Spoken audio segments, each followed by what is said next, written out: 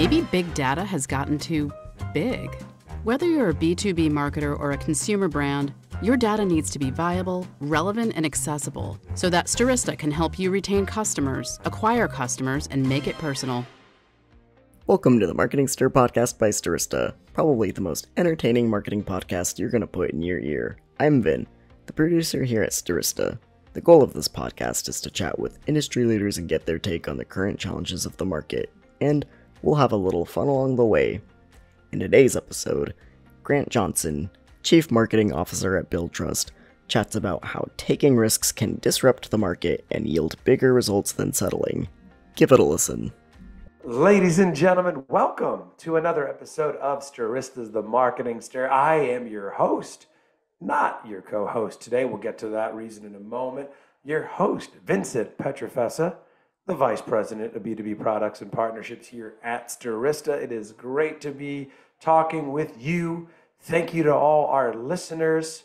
We never thought this we would have listeners to begin with, and, and yet so many great ones. We really do appreciate it. And thank you so much for coming up to me at trade shows and conferences and just telling me how much you like the podcast. That really is great. That's why we do it. We don't do it for advertising. I talk about Stirista for like 12 seconds. That's all. And then we don't talk about it again. Who are we? Stirista, we are a marketing technology company. We own our own business to business data, our own business to consumer data. We help companies access that data through email, through display, connected TV. We help companies get new customers. There's the elevator pitch. There's the podcast pitch. Who can't use new customers? That's all, ladies and gentlemen. But it is great to be talking with you, my co host, my CEO, my commander in chief, as I call him, the San Antonio Slayer. We haven't brought that one back, but here it is. He can't be with us today. He is in, uh, you know, a board meeting. Oh, does that sound fun? But what does sound fun and is fun is my next guest. I already met this guest. I already chatted with this guest, not in person. You hear me say it on the podcast all the time. I love meeting people in person. Maybe we'll make it happen. Some of the guests I do meet in person, but we're very happy to have him and his knowledge as a marketer. Ladies and gentlemen, the chief marketer, Billtrust, Grant Johnson. What's going on, Grant? Hey, Vincent, great to join you here today. It's uh, it's great to have you. I, you know, I I should I was gonna say I discovered Grant. No, you know, but we discovered, uh, you know, Grant. Grant is done is always uh, out there talking about some of the trends and marketing and the things that he loves, and we, we've seen him on uh, some other podcasts. I was like, we have to get him on. So, Grant, talk to us first. Billtrust. I want you know let's let, let's get it out there for our listeners. What is Billtrust? Obviously, you're the, you're the CMO, but walk me through some of your day to day as well at the company. Yeah, Billtrust is in the B2B accounts receivable, otherwise known as AR, automation, and uh, digital payments. And we, very simple value proposition, as you were talking about, um, we help companies get paid faster so they can focus and their staff can focus on more important matters. Who doesn't want to get paid faster? I love it. I love it. Exactly. Who doesn't want new customers, and then who doesn't want to get paid faster, right? Yeah. That's that's the the moral of the story. But so your role within it. So you're you're you know you've been a chief marketing officer uh, for many years, for a long time at companies, which is a testament to how good you are but you're also starting out new at Billtrust. Talk to us about how it's been the past few months. Talk to us about kind of your role. What have you been helping them uh, do? Yeah, it's uh, give sort of a two two part answer. Um, uh, the uh, the company uh, responsibility is the chief marketing officer is it's global marketing. It's all the things you would typically see in you know in B two B marketing leader. Uh, there's revenue marketing, often called demand gen there's product marketing, there's uh, what I call strategic communications, uh, internal com, public relations, analyst relations. Uh, there's the Martech stack, which gets you know bigger every day, trying to sort of orchestrate these different technologies to support uh, the, the marketing mission. And of course, there's digital and, and web marketing and you know other things that support those major what I call levers.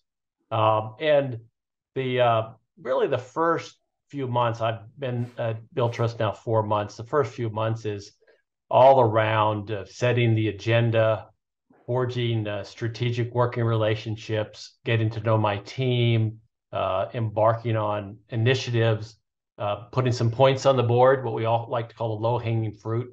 One of my uh, sidelines, I wouldn't call it a side hustle, but sidelines is I write a blog at cmomentor.com and I, I've mentored probably 14 other CMOs in my career. You know, I'll do one or two at a time.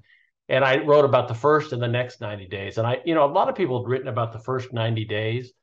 But as I've been a CMO a few times, I felt it's really important. Like, you know, you, you survived the first 90, congratulations. But just like sales, what have you done for me lately? What's the next quarter like? So you also have to renew. You may have an annual plan, but each 90 days we're in very dynamic markets. You know, we're facing macroeconomic, you know, headwinds. And so what's working now? What's what's going to work next? So working on those sort of things that I've uh, I've uh, really been focused on over the last few uh, first few months. Yeah, absolutely. You know, just just getting started, but you do have your hands full there.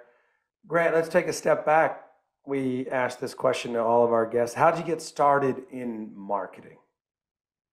Yeah, I would uh, call it sort of the the accidental discovery. Uh, mm-hmm. I was a political science major, do a lot of things with that major, liberal arts, right?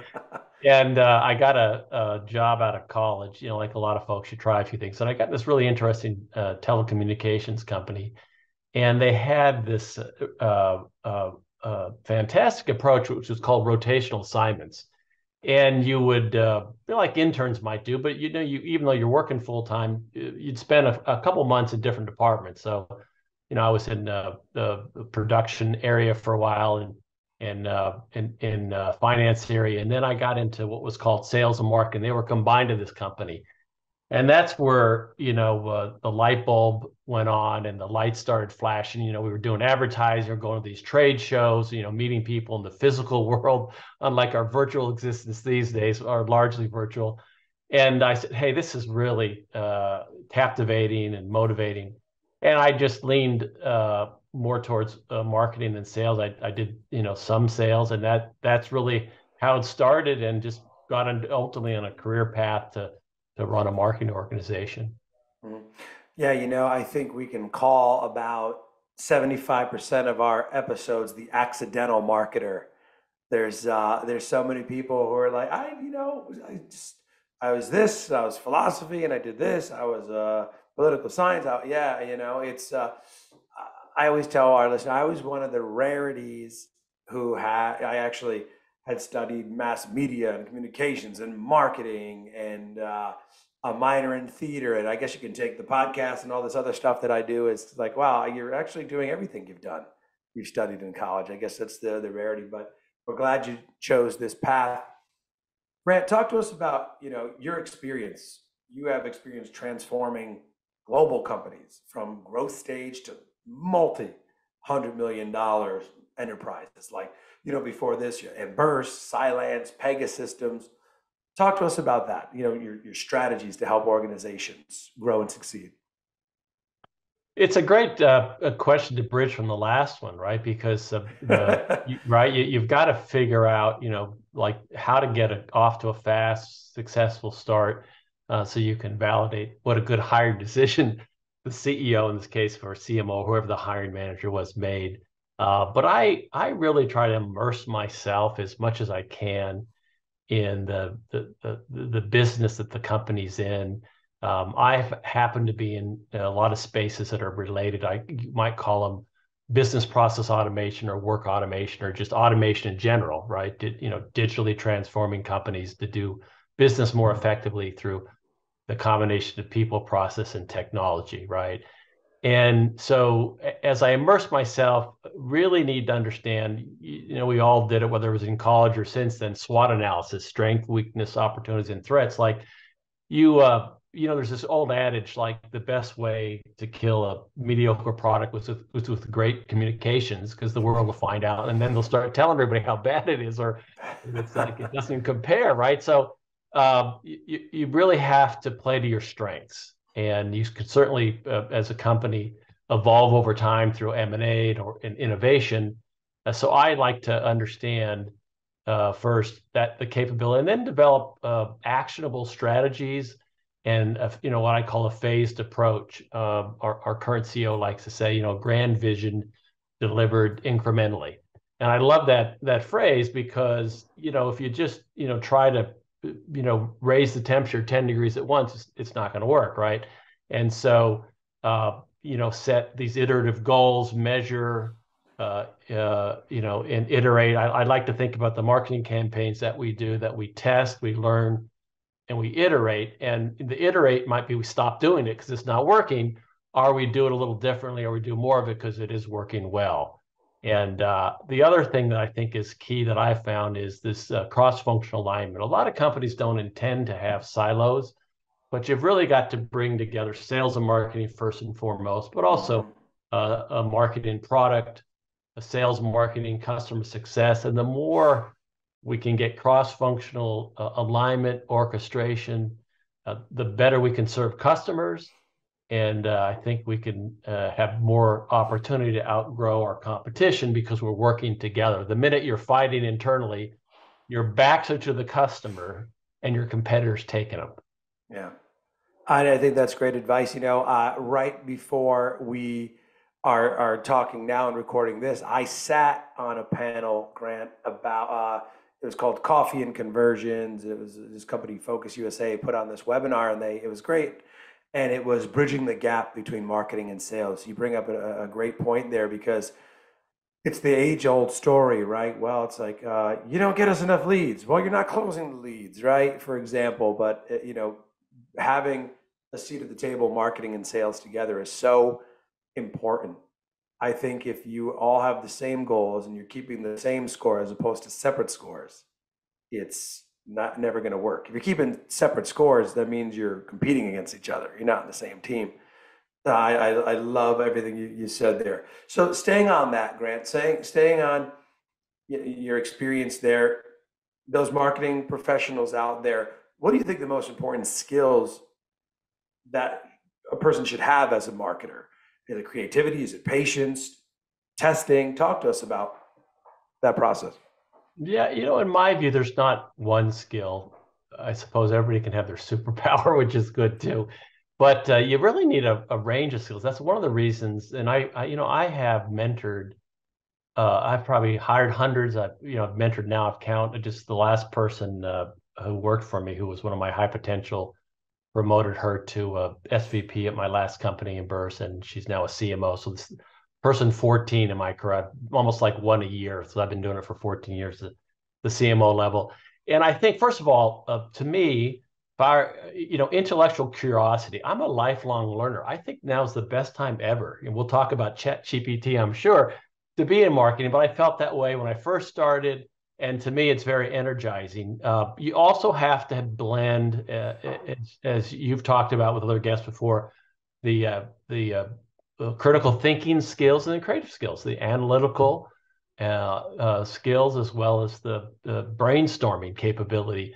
Because if you just kind of do what your competitors do, you're not you, you know you're not going to stand out. I think uh, you have to be very personable. I you know I really felt COVID was. We all know it changed the world, but I think it changed the the, the dynamics, you know, in in between uh, uh, staff and and and and managers and leaders, which is uh, you know being empathetic, understanding how challenging it is to manage work life balance, and you know take care of folks that need help. And uh, uh, so I think you know I think that's key. Uh, but also one of the things I've learned, I, and again things that are in the CMO Mentor blog, which is I sort of try to encapsulate learning that happens over not just a single uh, project or company, but over over multiple years is uh, taking more risk, and you have to just do it in in uh, in in measurable ways. And I'm not saying you know, do bet the company type things. If you're a startup, you might have to do that, but you know, I always say I don't mind making five and ten thousand dollar bets. I don't want to make a lot of fifty, hundred thousand dollar bets, right? Whether it's my personal portfolio or the company's money, which I treat like is you know as my own very responsibly. And uh, but you if you don't take risk, you're again you're just going to get incremental. You're not going to be able to disrupt the market, and that's something that it takes sort of an emotional makeup that you can handle failure.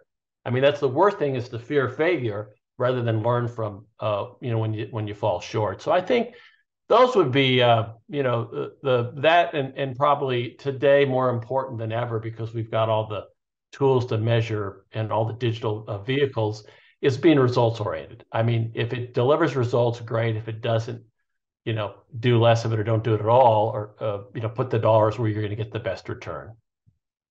Yeah, no, I I I agree with you there. I, and, then there's two things that you said there, Grant, that uh, I want your opinion on. Well, we'll get to AI in a moment. We'll keep the listeners uh, on edge there because I'm sure a lot of people are interested in hearing about that. But you said you're you're new yourself there, right? You're a CMO. You also hinted about the remote work, the work hybrid environments and hybrid work policies are kind of here to stay. What's the best way do you think like to boost morale in a virtual environment? How can organizations preserve the company culture remotely? And especially you, you're you're just starting. You're you, you know, you have a team. Talk to us all about that. Yeah, there's there's the there's a lot of lot of things that you can do.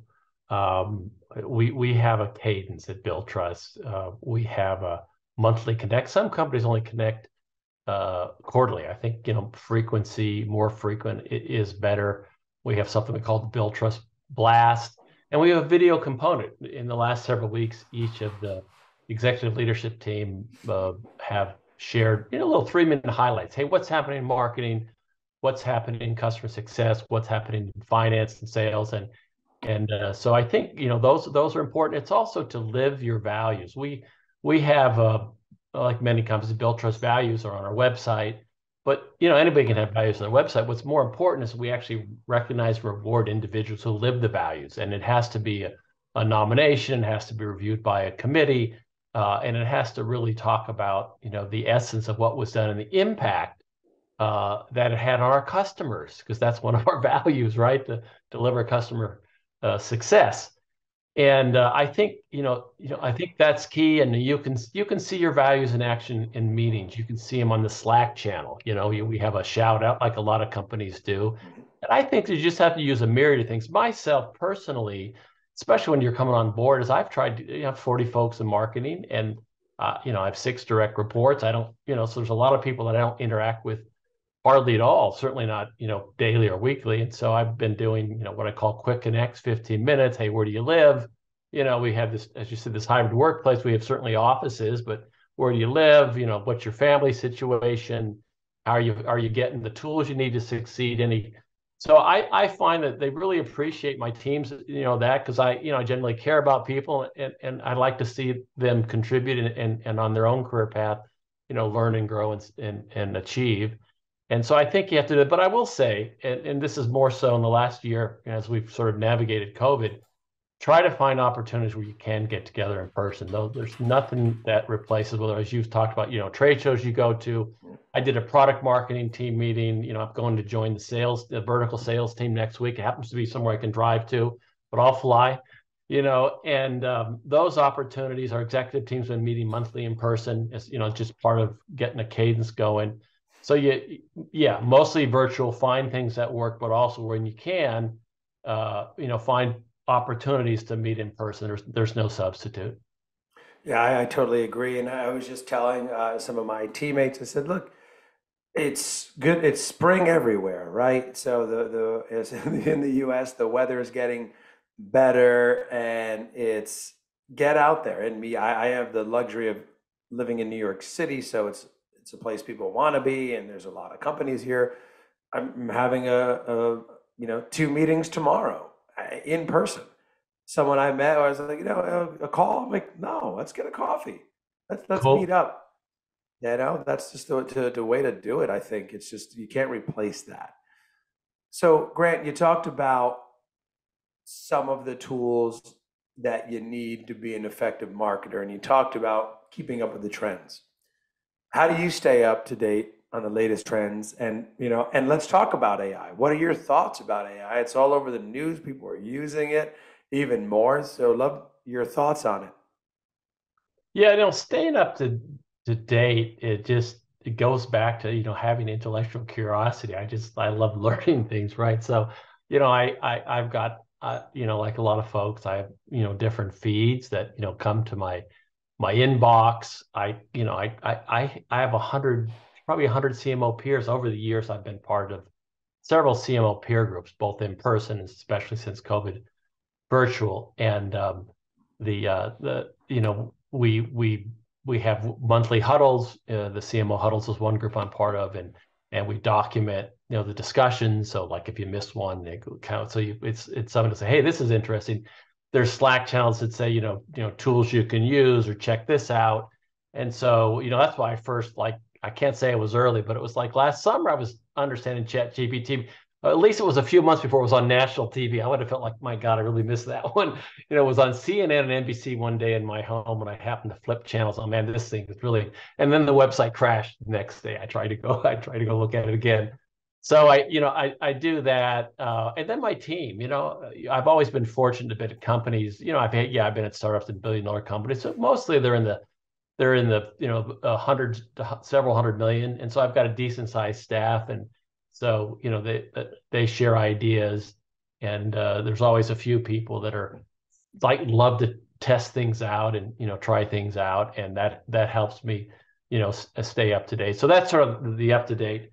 Uh, the AI thing you mentioned, Cylance. That was a company that was a pioneer next gen, uh, you know, prevention uh, uh, and software. And so I started thinking about it you know, several years ago and uh, I, you know, I, I did a blog in the 2000, 2023. I just figured everybody makes predictions. So I made the prediction that 2023 is the year of predictive marketing. And that's what, you know, AI is going to help us do. And, you know, the machine learning is like right now we have hypothesis about, hey, digital will be good here, events will be good there, webinars will help you. You know, you need multiple channels, but if you you can measure ultimately you get enough data in your uh, data set you can start predicting outcomes and uh, you know there's this age old thing i've heard now that i've been a cmo a few times is like well what's the return well if i go to the board speaking of board meetings and i say look uh, i'd like another million dollars they're going to say okay so what's the guaranteed return you know I said, well, I can guarantee five million. They're going to get interested if, if I, I ask for even a hundred thousand, and they say, well, what's the return? I don't know. Next question. I mean, you know, it's not going to work. So I think that's one of the ways you should help marketers prove the value. That's one of the things we've often all struggled with because marketing can be very subjective. But if you can make it quantitative, speaking the language of CFO, make sure that your peers understand what you're attempting to do and the results you're achieving, then it, you know it's a more objective conversation. You, you have a chance of uh, succeeding uh, uh, more often. And Grant, you, you talked about in 2023, you talked about predictive marketing, but you think in the next few years, is that does that stay on track as the most significant marketing trend or development, or do you have uh, some others in mind? I mean, I think a lot of people talked about the cookie going away, the IP IP solution uh, you know, big data many years ago, right? Uh, there's have been a lot of trends now. Chat GPT, AI. You know, what do you see in the next few years? Yeah, I mean, I think generative AI. Um, uh, you know, I felt you're right. Like the the you know, it was data and it was analytics and it was insight for a period of time. Big data, all these things is kind of they they come and go, they wax and wane. But I think that this one is uh, is is a tectonic shift uh, in fact, it's you know it's so powerful that you're starting to see. Uh, I, I, won't name the individual, but somebody recently left from one of the major uh, companies, starting with a G, and uh, uh, they, they're really you know they're concerned. You know we, we have to be very responsible. We have to have you know some some governance and guide rails that you know I'm not worried about taking over you know human life, but that it doesn't you know go beyond what's what's you know what what society thinks is you know acceptable but I think it is extremely powerful. We, you know, we have uh, three, well, I'll call them experiments. I'm sure many companies have that or more, but we want to do controllable experience uh, with generative AI uh, and find out where it can lift productivity and, and speed automation. And uh, just like our overall value proposition to automate the accounts receivable process, get you paid faster, free up time. I mean, I want that to happen to my marketing staff so they have more creative thinking time. They can work on projects more systematically versus one and done. Uh, and so I think that is going to be a pretty important trend. There may be something that it supplants it, but for the next, you know, as I look out the next year or two, I think there's a lot more that's going to happen there. I've, I've noticed that some of the Martech stack companies are uh, putting in uh, the uh, in, into the products. One of the most exciting I heard about was, you know, if you're a SDR, BDR, I'm sure a lot of the marketers, marketers you talk to are working with these organizations hand in hand. You know, you give them your target list of customers, and they tell you exactly what order to call them in. You know, and what to say to them because they've combed the websites, which I think sounds really powerful.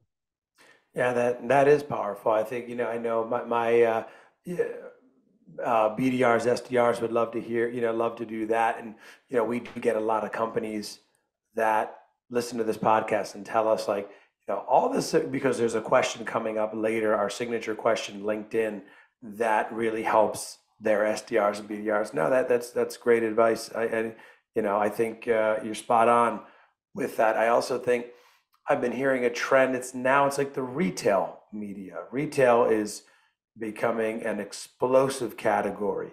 Every trade show I've been attending lately is just, you know, is retail marketing, retail media. This is everything that which I guess needs some strengthening uh, to keep boosting the economy here. Grant, you yourself have been at other similar companies, like you said. So obviously there's some competitors out there. How do you separate? How does Billtrust separate itself from its competitors?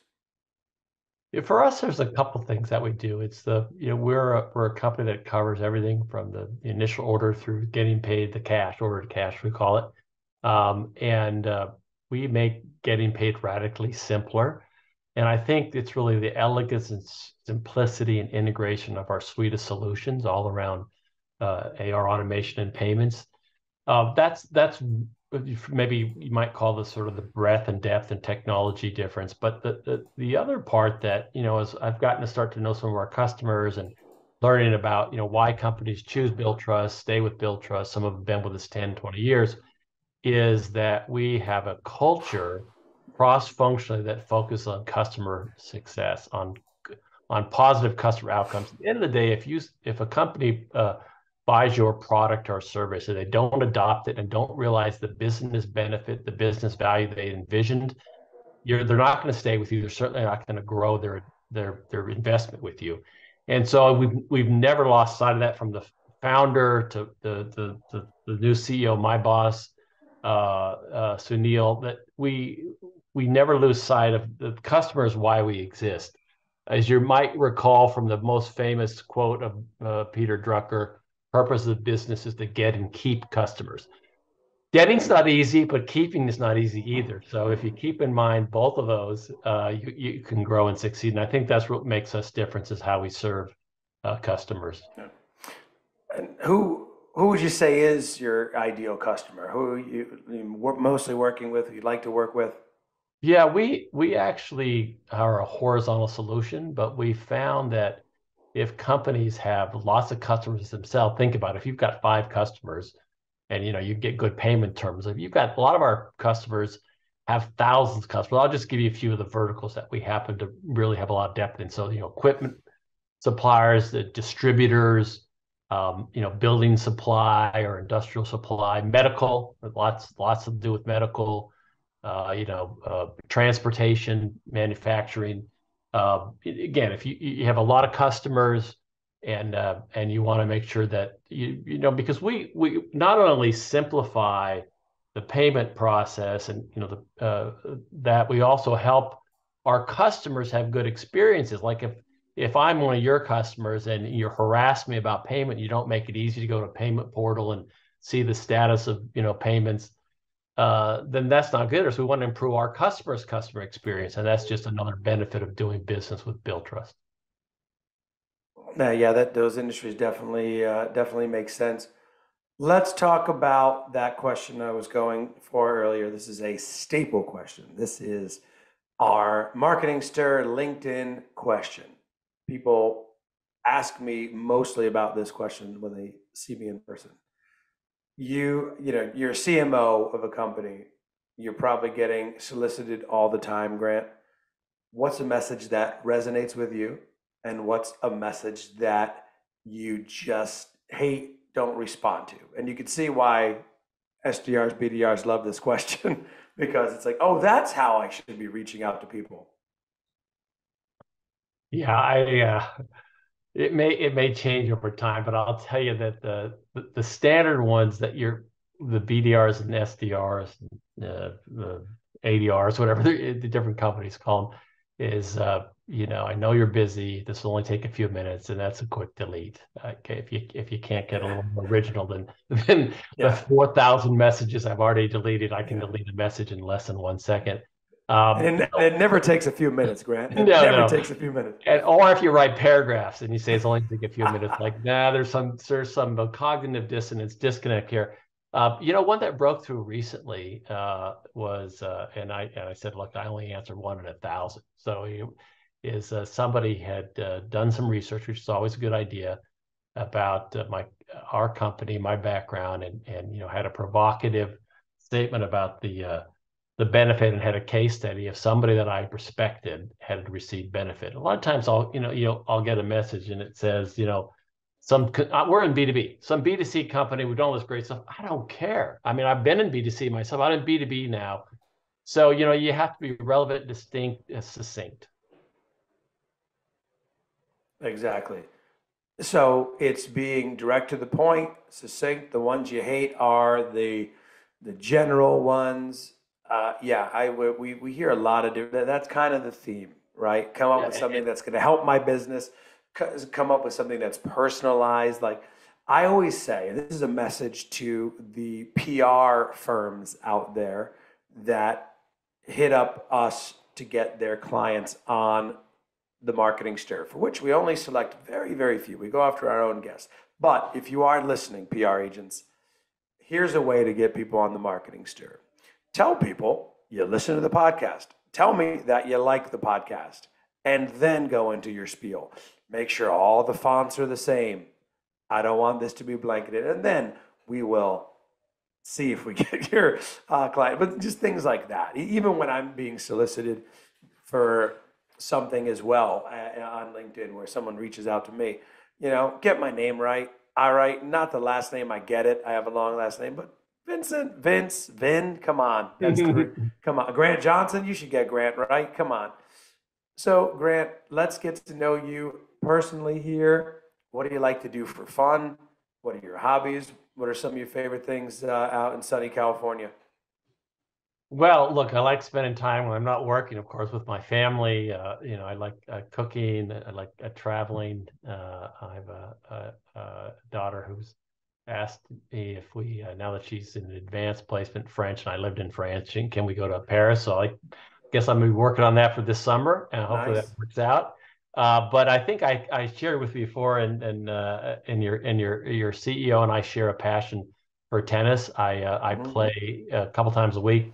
I'm very fortunate. I've been to the national championships three years in a row at my nice. level and um, you know you 32 people from around the us get you know based on how you know you're playing winning percentage tournament so forth. And i just i like to compete. It's it's fun. It's you know it gets as you as you as you've done it a few times and you know work within your own uh, division that you, you find there's a lot of camaraderie. Where not, nobody's getting paid. You know we're hoping that you know we get home injury free that kind of thing. And uh, but i just find it's a great combination of you know mental focus physical exercise and fun yeah aj is uh, going to kick himself for missing this one because I, I remember your love and passion of tennis he uh, has sustained a few injuries and we talk about the injuries a lot on oh, the, really? the podcast but uh, yeah I, I he, he loves it there's a whole team out there in San Antonio. They go to nationals. They do this, but you know that sounds like you're doing uh, really well at it. So that's awesome. So Grant, a closing thought uh, you want to uh, leave to our listeners, a parting thought about your experience, marketing, anything. Yeah, and I've been asked this many times. Uh, you know, what's the best advice I can give to a early stage or you know sometimes even you know middle mid mid stage career person is to to be intentional. And uh, I contributed my success. I mapped it out. It may not have happened exactly at the time in the order I'd like to, you know, to run a marketing organization. I've done it multiple times, but I've had some people say, like, I'm sort of not sure how I got here like you. I mean, you're, you're utilizing Vince and all your talents that you're, you'll have more that you'll utilize over time. But I, I really think that it, you, if you set a goal and you have concrete steps to get there and you're intentional about it, you're certainly going to increase your odds uh, of arriving uh, at the de- ultimate destination, whatever that may be for you as an individual. That's that's great advice. Be intentional. I love that. I think that's a first for uh, the the podcast here. Grant, mention again the. I know you're doing some mentorship with CMOs. Mention your blog one more time for our listeners. It's uh, cmomentor.com. cmomentor.com. Nice and uh, very easy and simple. Thanks, Grant, for spending some time with us. All the work you're doing there at Billtrust and mentoring other CMOs. Ladies and gentlemen, that's the Chief Marketing Officer of Billtrust, Grant Johnson. I'm Vincent Pietrafesa. AJ Gupta is not on the tennis court. He is in the boardroom. He'd prefer to be on the tennis court. This has been another episode of The Marketing Stir. Thank you all so much for listening, and we'll talk soon. Thanks for listening to the Marketing Stir podcast by Stirista. Please like, rate, and subscribe. If you're interested in being a guest on the podcast, please email us at themarketingstir at stirista.com. And thanks for listening.